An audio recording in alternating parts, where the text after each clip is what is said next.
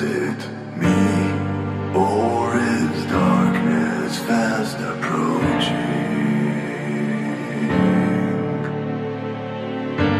It's getting crowded and it's hard to catch a breath.